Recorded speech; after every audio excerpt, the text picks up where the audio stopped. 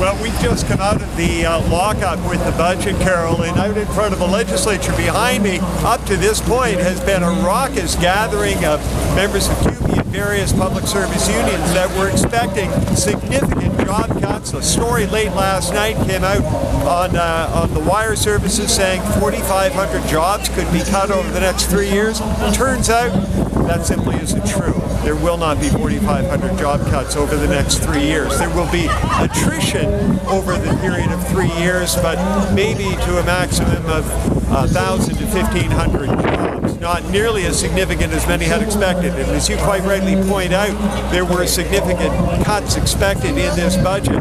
But we're talking about Blaine Higgs. This is a guy who used to work for the Irving Industries. He's a finance guy, and he is an expert at finding out where the little money caches are hidden in various departments of government. And it looks like with this budget, he's once again managed to uh, save money, reduce the deficit without having to hike taxes and without substantive or hugely significant service cuts to taxpayers, Absolutely. This is a reduction in the deficit this year, but the goal is a balanced budget by 2014-2015. And he's making headway in getting there, The uh, deficit for this coming year is expected to be about $187 million, a far cry from the 471 figure that you just mentioned.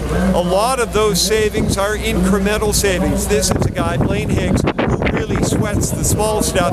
He's squeezing savings out of everything from, for example, government uh, used to give $600,000 a year to the horse racing industry to help support uh, harness racing in this province. That's not going to happen anymore. He's looking at Department of Natural Resources people uh, uh, who work in the field working out of their trucks rather than out of offices to reduce the cost of real estate, uh, a host of things. Nothing is too small for him taking another look at the need for the provincial government to have a government airplane. There was a story earlier this year about whether or not ministers were taking advantage of that government aircraft, and in fact, whether the province even needs one.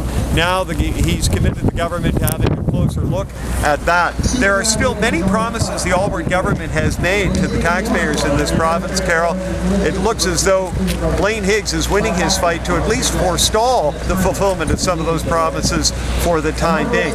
Two key things he's counting on, Carol. One, that public servants in this province will continue to find savings, uh, which they are likely to do if it means they can save their own jobs. And secondly, that taxpayers in this province will be reasonable in their expectations and, and understand that uh, if they don't demand everything, there's a greater likelihood that the healthcare spending, they, the healthcare services they need, uh, the nursing home services that they need will be there when they need them.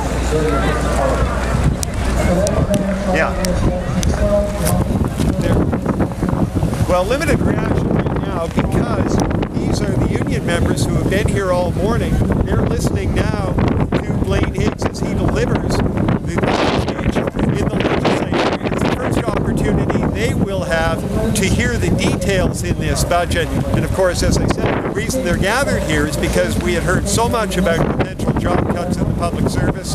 There will be attrition, but not the substantive cuts at this point. at least. Had expected, Carol.